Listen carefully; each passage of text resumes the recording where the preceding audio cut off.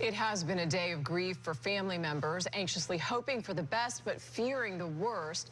We were there as loved ones received the worst possible news, a sobering and heartbreaking moment. Our Melanie Michael was there. She saw it firsthand. She also continues our live team coverage tonight in Orlando, and, uh, and you've had a chance to speak with some of the parents and feel that grief for yourself.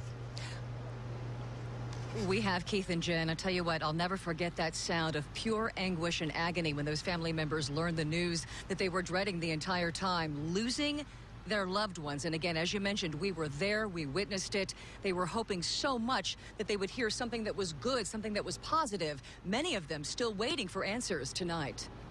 She begged for help in finding her son. I've just been trying all morning, so I can't find him. So please just keep us in your prayers, and hopefully this madness could stop. I don't know what else to say. 33-year-old Tony Marrero was celebrating his birthday Saturday night at Pulse. His parents haven't heard from him since. We're just looking for our son. That's your son? Yeah, and we haven't heard from him. So we're just doing what everyone else is doing. He works at Universal, and I'm just hoping we find him. That's all I want. I don't mean to be mean, but my main concern right now is to find him. So please bear with me.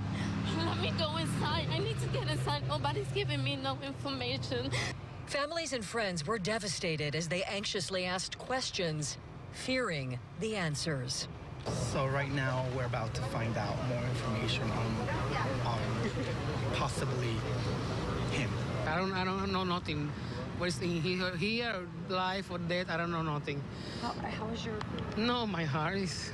I'm so sad. So...